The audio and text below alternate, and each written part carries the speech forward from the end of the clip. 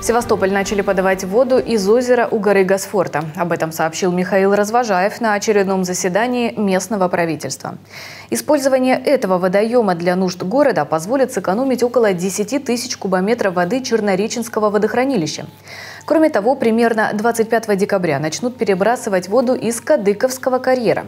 Сейчас на объекте завершаются подготовительные работы. Нужно в срок завершить, чтобы, соответственно, объект при введении, э, соответственно, был у нас уже передан водоканалу в эксплуатацию и так далее. Там у нас порядка еще 15 тысяч, да, мы будем э, забирать, что позволит снизить практически там до 59-60 тысяч потребления Чернореченского водохранилища.